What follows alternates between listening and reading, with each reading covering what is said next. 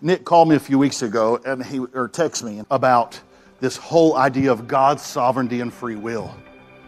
And man, I mean, theologians and seminaries debate that, and, and good Christians on both sides of the aisle. Are, do we have a voice in it, or is it all God? And it, do we choose, and then God follows? God knows, and then we, you know, the, this whole thing. Well, is God sovereign? Do we have free will, or you know, God gave him free will? But there was a point when God said, Nebuchadnezzar, if I give you all that you want, you're never going to meet me again in heaven. So God, in His sovereignty, stepped in and overrode Nebuchadnezzar's free will. Because God said, I love you too much to let you choose that path for eternity.